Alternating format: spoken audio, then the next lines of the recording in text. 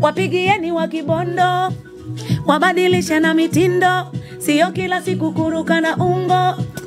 Mpigieni na mabondo, akome kuroga na mafundo. Neno la Mungu ni nyundo, sio kama gazeti la Shigongo. Yeye hachunguziki, hatikisiki, wala hapendi kiki, anapenda sifa na muziki. Yeye anasema kamata pindo cheza sere oh, lete mudundo. Yeye anasema kamata pindo cheza serebuka lete mudundo. Yeye anasema cheza serebuka anasema uh-uh, cheza serebuka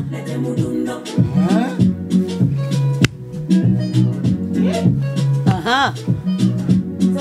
Agenda. siri agenda. Security agenda. City agenda.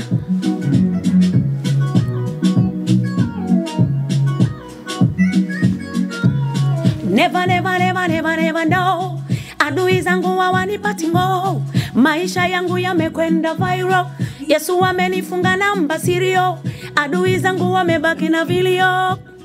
Oh, I am a fighter. It is better.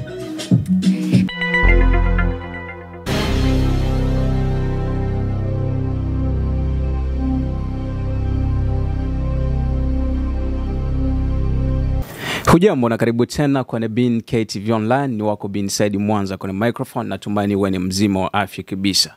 Ndani ya studio tuko na msanii nguli, mwimbaji wa Injili Rose Muando, yuko hapa Sioux South Dakota, na tukiwepo naye hapa kwenye studio uh, tutaweza kujua mambo mengi kutoka kwake, maana tulikuwa tukimsubiri kwa muda mrefu sana hapa Marekani. Jambo dada Rose Muando. Uh, si jambo, habari yako? Ni nzuri, tunamshukuru Mungu Amina. Kweli. Karibu sana Sufos. Asante sana, nashukuru. Vizuri. Marekani unaionaje? Ah, Marekani naiona ni nchi nzuri, nimeona vitu vingi yeah. mm -hmm. na hata nimefika hapa Sioux Falls nimeona vizuri, nimependa, nimeona snow nyingi sana. Hiyo eh, hata usiku nilifika nikasema, mbona kama kuna unga umemwagika barabarani? Akaniambia "Ah, hii ni snow ile unaona. Ah, nimefurahi sana. Kweli eh? Una muda gani hapa Marekani? Uh, tangu nije nimemaliza one month Okay. uh, yeah, mpaka hivi Maana nimetembelea nime, nime, nimetembelea kwenye Instagram yako, chua yako ilianza uh, November 10. Yes, November 10 Okay. Nakuja kuhitimisha hapa. Kweli. Vizuri sana. Asante. Um, snow, umeona snow. Ndo turu ya kwanza kuona snow kabisa. Uh, kufika kuona snow mm -hmm. ilikuwa mara yangu ya kwanza kuona. Wewe tuangalia kwenye YouTube mm -hmm. basi, lakini live nimeona na nimefurahi. Kweli eh? Yeah. Uh, na hii ilikuwa 90%. Kwa hiyo ilikuwa nyingi sana. Basi imekuwa nyingi kwa ajili yangu ili niweze kuona vizuri. Kweli eh? yeah, Vizuri sana. Um, tuambie nini ambacho umekiona hapa Sufos. Kwanza nimeona kitu ambacho kimenifurahisha, ukienda ugenini alafu ukakutana na wana wa baba yako, hiyo ndo furaha yangu ya kwanza. Nimeona Waafrika wenzangu mm -hmm. lakini nimeona Wakongomani ambao kwanza ni ndugu zangu, lakini ni marafiki zangu Ndio.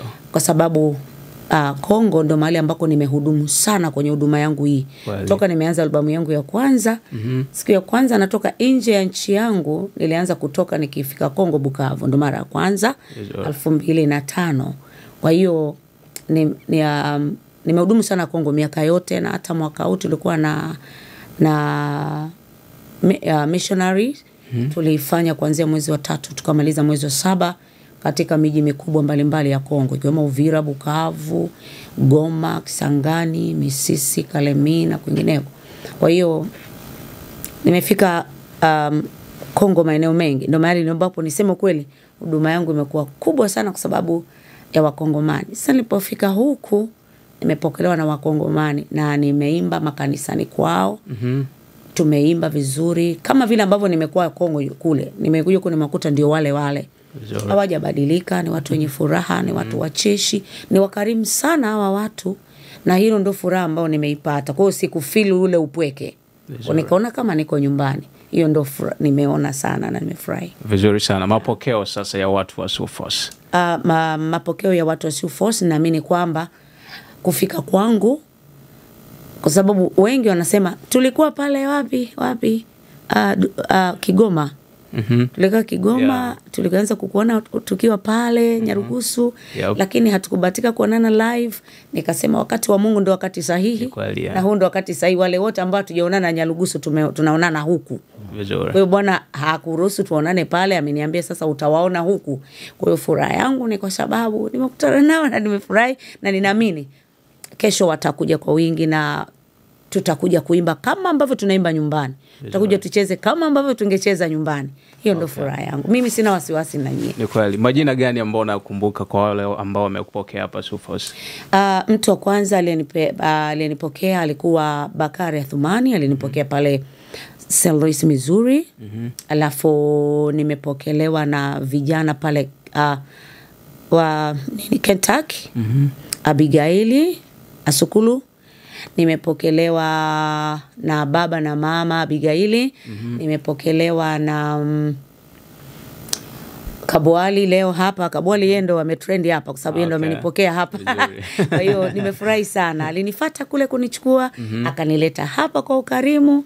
Kwa hiyo namshukuru sana, na hata sahii tumetoka kula nyumbani mwake. Mungu ambariki kabisa. well. Lakini zaidi ya yote nimefurahi pia kuonana na wachungaji Pasta Isaya mm -hmm. pale oh, mm -hmm. na Pastor Ezekiel alinipokea pale um, hapa naitwa nini St. Louis. no, no, si St. Louis. Uh, tumeanza Kentucky tukaenda Louis. Tennessee Oh. kwa kanisa la Baptisti Pastor Ezekiel na ha, nikarudi hapa uh, St. Louis nikapokelewa na Bakari pamoja na Wakristo wote wa pale, na hapa nimepokelewa na wachungaji hapa, mchungaji yuko, nimepokelewa na Kabwali na mke wake, nimepokelewa na waandishi wa habari ambao sahii naongea nao hapa.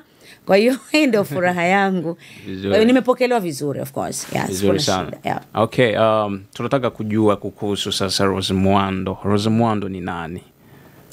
Mimi uh, jina langu kama unavyosema naitwa Rose Muhando. Mimi ni mwanamuziki wa nyimbo za Injili na ni mtumishi tu wa Mungu. Okay. Sina mambo mengi zaidi ya hayo mawili. Yeah. Vizuri sana.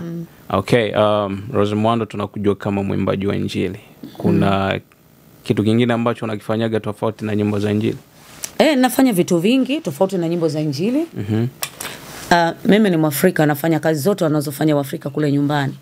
Kama ni kupika, napika. Okay. Kama ni kufua na mkono, nafua. Okay. kama ikinibidi kwenda shambani na kwenda uh, kutunza nyumba yangu kuhubiri ndo kazi pia ninayo kubwa uh, kupreach Mhm. kuhubiri hasa kufundisha vijana na wanawake na ninaimba pia lakini pia mimi ni mkulima wa mashamba makubwa hiyo Mkulima. mm -hmm. Unapiga jembe kabisa. kabisa mi ni mkulima wa mashamba makubwa hiyo ndo kitu babangu niliona akifanya ndio alinirithisha hiyo Vizuri. Yeah. Rose uh, Tanzania unaishi wapi? naishi central tanganyika dodoma Dodoma. Yeah. Uliwahi kuishi Dar es Salaam pia? Dar es Salaam ninaishi pale uh -huh. mara nyingi nakuwa Dar es Salaam kwa sababu ya kazi zetu Okay. kwa sababu studio nyingi tunazofanyia kazi kwa Dar es Salaam, makameramani watu wa video kule. Kwa muda mrefu nakuwa niko Dar es Salaam kuliko Dodoma, lakini mahali ambapo nimejenga na ndo maisha yangu ni Dodoma, makao makuu. Vizuri sana.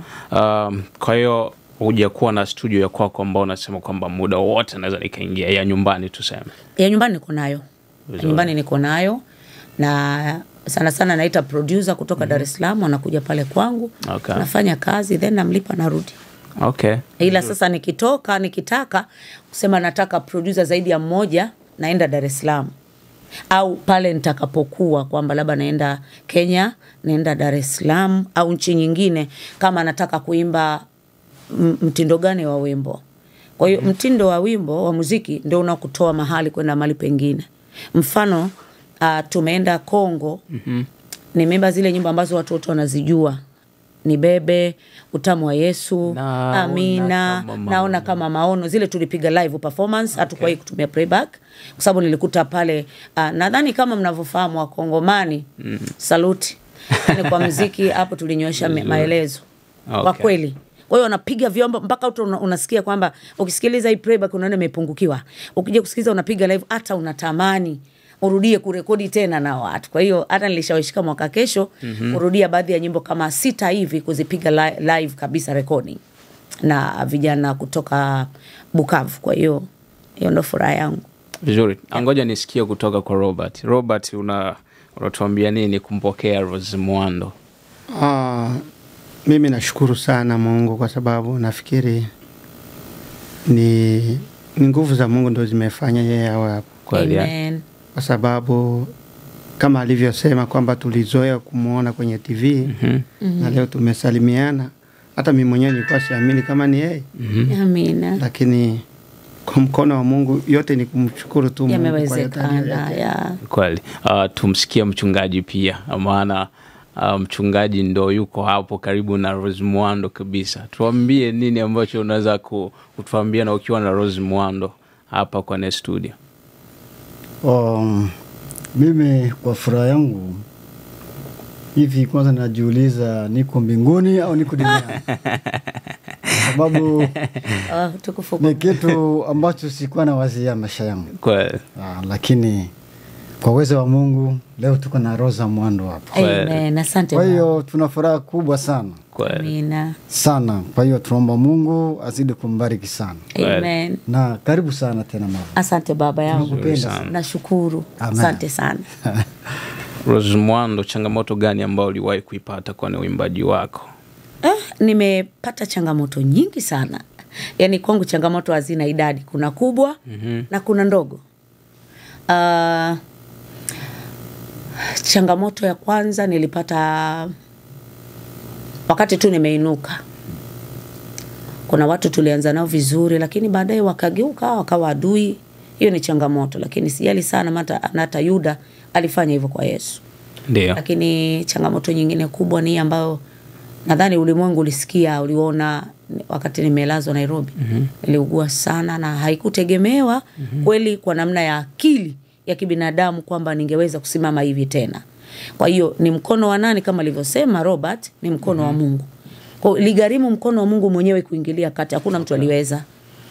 Uh, hiyo ni changamoto. Kwa hiyo pamoja na kwamba nilikuwa mgonjwa sasa badala ya kuhurumiwa niliraruliwa hapo hapo huku nimelala huku nararuliwa huku nachanwa huku napigwa wow. kunafanya nini?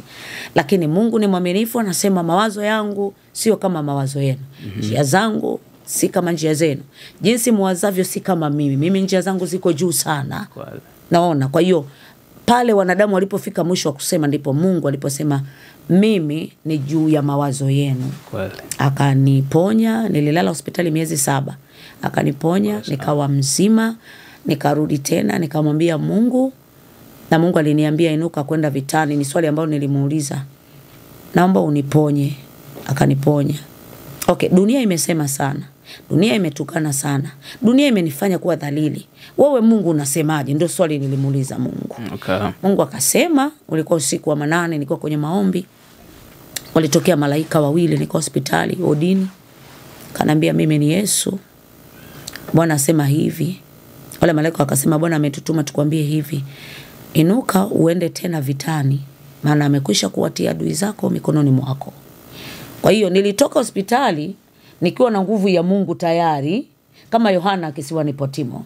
Japo watu walikuwa wanajua uko porini lakini hawakujua kule porini ndiko alikopewa ufunuo. Kwa hiyo kule ambako nilala ndiko nilipewa ufunuo huu ambao umenifanya kusimama tena mara ya pili nikiwa na ujasiri tele na nguvu ya mungu tele bila kuogopa kwa sababu nimemwona mungu kwa ukubwa. Vizuri sana. Mm. Rosemond, ulianza kuimba uh, ukiwa na umri wa miaka mingapi Ah, mimi nimeanza kuimba nikiwa mdogo sana. Nilianza kuimba nikiwa madrasa. Mimi nilikuwa Muislamu, watu wote wanajua. Nilianza kuimba nikiwa darasa la tatu, nikiwa mdogo sana, nikiongoza kwaya za shule za mashindano ya kwaya za shule mm-hmm. shule na shule, kata, wilaya, hivyo kwa kadogo. Na unajua mi sio mrefu, kwa hiyo hata wakati huu nikuwa kafupi zaidi, hata nikimbisha watu wanione, lakini nilianza kwa kuimba okay. lakini kutoka hapo niliimba nilipofika miaka kumi na mbili ndipo nilipobatizwa nikabadilisha dini nikawa mkristo mpaka leo nikabatizwa hapo nikawaanza kuimba kwaya lakini kabla ya hapo nilikuwa naimba shule na nikawa naimba madrasa mm. nilipokuwa naimba madrasa nilijulikana shule, nilijulikana madrasa. Bwana bana akaja akathibitisha huku kwenye gospel akaniinua. vizuri mm. sana Yeah. um, mwislamu mkristo Eh, wazazi walikuwa waislamu pia? Eh, wazazi wangu ni Waislamu, familia yote, ukoo wote, ni mimi tu hivyo naniona. kweli? Mm. ilikuwaje sasa kwa, kwa, kwa familia sasa kuchukulia kisha kwa mkristo sasa? Labda mi niseme hivi, kitu ambacho Wakristo wote karibia asilimia tisini hawajui, hawajui nguvu ya neema ya msalaba. Ndio maana leo wanaweza kuwa na Yesu, kesho akamuacha, na hata kama mtu anaenda kanisani ah, ni kama tu desturi za walevi, wanavyoenda vilabuni, wanakunywa, wakirudi maisha yanaendelea. mm -hmm. Lakini mimi kwangu ile neema, unajua Yesu aliniponya, aliponiponya ugonjwa mbaya, ilikuwa mwaka nadhani nilikuwa na miaka mingapi? Nilikuwa na miaka tisa. Nilipopona ndo Yesu akasema, mimi ni Yesu, nimekuponya, amka uwe mzima ukanitumikie. Kwa Mungu alianza kunitafuta na kunisemesha siku nyingi. Kila hatua unayoona nimepitia ni Bwana alisema, hata ili jaribu nimepitia ni Bwana alisema. Kwa hiyo nikawa na, nimekaa Mungu asema lazima upite, nikana nimekaa. Kwa hiyo nilianza kuimba nikiwa mdogo, nimeimba shule, nimeimba madrasa na nimeimba huku, na nilipobatizwa kwa sababu unaona hivi niko maarufu huku. Nilipokuwa Muislamu nilikuwa hivyo mm-hmm. pale kwetu, kwa sababu babangu alikuwa shehe mkuu wa wilaya ya Kilosa pale Morogoro mjini. Uh, familia haikupenda, ndugu hawakutaka. Nadhani sio kitu cha kuhadithia, wewe unajua kwamba haiwezekani, yani kitu ambacho haiwezekani kwamba mzazi aseme tu ndio. Ah, wapi? Hakuna mzazi wa hivyo, lakini namshukuru Mungu kwamba baadaye wazazi wangu waliniacha niendelee mpaka leo nimeendelea. vizuri um, tunataka kujua uh, kuhusiana na ulijitwikaje sasa kwenye mziki na kabla ya hapo tunataka kujua Rose Mwando na watoto wangapi Watoto wangu ni watatu, msichana moja mm-hmm. wakiume wawili, wako shule bado.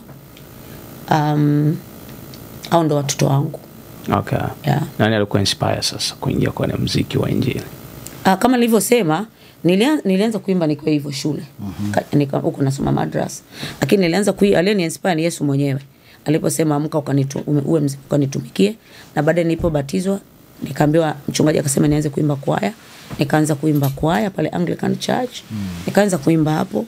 Toka nimeanza kuimba kwaya ndo nikamwona Mungu mpaka leo. kweli Mm. Rose una, una umri wa miaka mingapi maana Umri ni hiyo uh, umri ni, ni nini wanasema ni miaka ni miaka ni miaka mm-hmm. siwezi kusema na miaka mingapi mwandishi utanisamea kweli yeah. kweli eh? mimi ni mama na nina watoto wangu na familia yeah. vizuri um, ni changamoto gani ambayo ulipataga na wimbo gani ambao ulipataga changamoto kwa kuandika mimi niseme sijawahi kuandika wimbo na kalamu Mhm. sijawahi nyimbo zote kama ma, nasoma tu maandiko Biblia inavyosema mungu amenipa uelewa mpana wa kufahamu mungu alisema hivi kwa sababu gani na kwa nini. Vizuri. Katika albamu yako sijawahi kuandika albamu kalamu. yako ambayo uliwahi kuitoa wimbo gani ambao uliupenda kabisa? Wimbo ambao mpaka leo nadhani hata ukiwa shahidi hautakuja kusahaulika. Mm-hmm. nimekukimbilia wewe bwana okay. mwamba wangu na ngome yangu. Kwa sababu ni true story kabisa. Kwele. na ile siku nilipoimba unajua niliimba nikiwa na miguu pekua sina hata viatu. Nimeenda nyumba niliyolala hawakupenda nifike pale wakanimwagia maji usiku nikiwa nimelala kwenye simenti nilienda hata nikiwa katika kufunga siku tatu na mateso hayo lakini nilisema bwana yesu mradi umenipa nafasi ya kurekodi hiyo ndilikuwa ilikuwa kiu yangu nitaenda kurekodi hata kama nguo zimeloa. Kwao nisimama studio nguo zangu zimeloa hivi. Naimba. Mateso dhiki shida kufukuzwa nyumbani kukataliwa na ndugu kwa sababu ya imani. Nikaimba nipe uvumilivu. Kwao ndo wimbo ambao kiukweli utaendelea kubaki na kuishi kwangu. Ushawahi Usha- kufanya matambiko ya kabla maonyesho? Tuseme kabla ya kutoa albamu, ukafanya matambiko ambayo matambiko ya? Tuseme mkri, uh, kuna watu ambao wanafanya matambiko ambayo kitu changu kifanye vizuri anaenda kusema Ni kweli, kwenye Injili. nini. so, kwa- kwenye muziki wa gospel kabisa hivi. Uh -huh. yaani muziki wa gospel. Unajua shida? Sikuimba nikiwa mkubwa. Nimeanza kumjua yesu nikiwa na miaka tisa. Kwa hiyo miaka tisa nilitoka islamic nikarudisha juzu karudisha na misaafu na vitabu vyote. Mm -hmm. nilipotoka nimeenda kanisani. Nilipofika kanisani nikalelewa na kanisa Kwa hiyo katika hapa na hapa, kutoka hapa miaka tisa, sijawahi kuishi maisha nje na, na, na, na, na neno la Mungu nje na imani ya ile ya msalaba. Okay. Kwa hiyo huku haya mengine kama kuna watu wanafanyaga sijui Okay. na wana it's okay, watu wanaweza kufanya, siwezi kuwakatalia, lakini sijawahi na sifikirii kwa sababu sijui. Hmm, Baba yangu hajawahi kunifundisha wala mchungaji wangu hajawahi kuniambia hiyo njia. Nitajifunza kutoka kwa nani? Ukiona mtu amefanya jambo, kuna mahali alijifunza. Mimi nitajifunza kutoka kwa nani? Vizuri. Uh, jambo gani ngumu kuhusu mziki wako? Nyimbo uh, sijaelewa swali. Jambo gani ngumu Jambo yeah, katika injili na katika mziki wako wa injili? katika Injili, jambo lililo gumu kabisa ni unatamani uimbe watu waamini kama wewe unavyoamini juu ya Mungu, alafu unakuta watu hawaamini kama unavyoamini juu ya nani? ya Mungu. Sasa wakati mwingine unaimba unaimba ukiamini watu wamekuelewa, watabadilika, unakuta wako wale wale, wataimba, wataserebuka mziki, watafurahia, akimaliza wanarudi pale. Kwa hiyo hiyo ndio kitu changamoto kubwa sana, kwa sababu napoimba huwa natamani mtu aamini Yesu kama ambavyo mimi namsikia ndani. Sawa?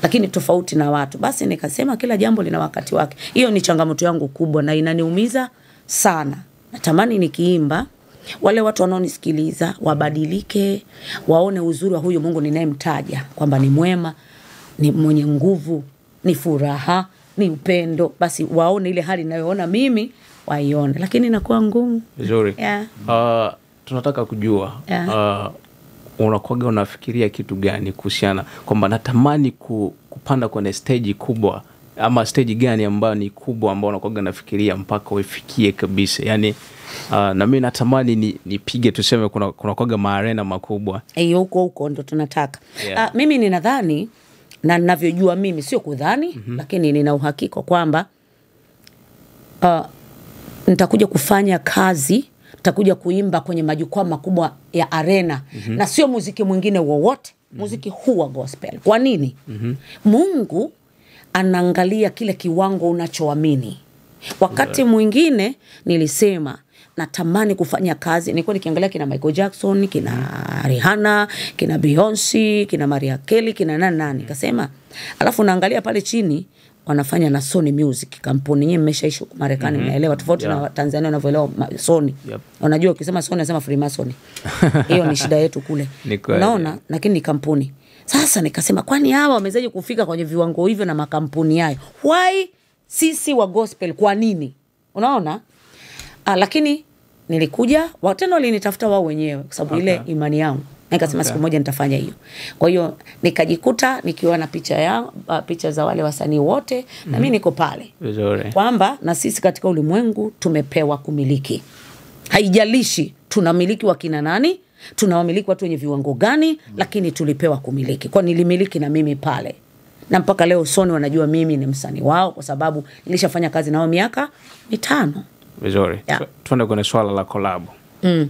uh, tanzania wengi waimbaji wa, wa injili Yeah. huwa wapendi kufanya kolabu wao kwa wao Aha. inakwaga ni kwa sababu gani asante sana uh, wapende kufanya kolabo wao kwa hao watanzania wote waimbaji ni masuperstar naongea kabisa katika mwili sasa. Ndio. Ehe, yani wote ni masuperstar. Sawasawa mm-hmm. mimi nakuona we mdogo. Yule ananiona mi mdogo kwake. Mm-hmm. na yule na yule. Kwa hiyo nani atakubali akaimbe na mtu ambaye sio taipu yake? Ya huyu sio taipu yangu. Hivyo. Na naweza sema mimi peke yangu sijisifu lakini ndio mwimbaji pekee nimefanya kolabo na watu wasiopungua thelathini na tanzania kwangu nimefanya japo na wachache mm -hmm. lakini kenya nimefanya na wengi sana na nadhani ukifungua YouTube nimeona unaona za kenya tena niliofanya nao mimi hawana hata majina mm. lakini hao ndio niliwabeba niliwabeba hivi nikiamini hivi mimi naamini katika ulimwengu wa roho kwamba mm. -hmm. nikimwinua mtu mmoja ataenda kuhubiri watu mia moja ataokoa watu mia moja kwa hiyo biblia inasema za, fanyeni kazi izayo matunda. Zaeni matunda yanayoishi yapate, yapate kukaa. Kwa hiyo kuzaa matunda ni kwamba mimi nikiwa rose nahubiri watu elfu kumi. Lakini kuna mwimbaji mchanga huyu kwa kuwa anaanza akinuka yeye ataokoa watu wangapi? Mia. Na ukumbuke hesabu ya kimbingu ni mtu mmoja akitubu. Hasa wakitubu mia si ni wengi. Wengi. Kwa hiyo hiyo ndo mimi nafanya kwa sababu hiyo. Ndo maana umeona nimeweza kubeba hata wale wanatambaa hata acha tu sijui nchini kwako mtaani hata mchungaji wako ajuaki kama unaimbaga. Hmm. wachungaji wengine wameshtukia tu watoto wao wameimba na mimi wameanza kuimba. Hey, Ah, okay. ulianza kuimba lini? Nasema hapana nitafuta marozi. Nikamwambia nisaidie. Amenisaidia na nimeweza. Kwa hiyo mara nyingi huwa nawasii wachungaji nifanya kolabo na mwimbaji mchanga naomba mwalee hawa watoto. Kwa hiyo hiyo mi nimeweza kufanya. Lakini shida tu ni ile uh, waimbaji wa wengi wakubwa wakubwa hasa wenye majina kila mtu ni superstar awezi kufanya na mtu mwingine Lakini nimefanya na watu wakubwa wa kenya waimbaji wakubwa nimefanya nao. Kwa hiyo nikifika mahali penye panapohitaji gospel ile ya mungu mm-hmm. au superstar unaweka pembeni kwanza kidogo nampa mungu nafasi afanye kwa ajili ya utukufu wake mwenyewe. Kisha baada ya hapo ataniinua. Vizuri. Nafasi ipo. Yeah. vizuri sana. Um, utaratibu wako wa, wa utunzi wa nyimbo ukoje Uh, mimi ni msomi wa neno la Mungu. Okay. Kati ya watu wa filosofia ya wanaojua neno la Mungu, mimi ni mmojawapo, na hiyo naweza kujivunia sana kwamba napenda kusoma Biblia. Kwanza naipenda ile ndani ya moyo Okay. acha kusoma ah, ah, kwamba nitafanya mtihani mm-mm. naipenda napenda kuona mungu vile anaongea kwa hiyo mtu ukimpenda utamsikiliza mm-hmm. ukimsikiliza utamwelezea kwa watu yukoje Kwa mimi nampenda yesu namsikiliza na ndio maana naweza kumwelezea vizuri kwa hiyo hiyo ndio inanisaidia sana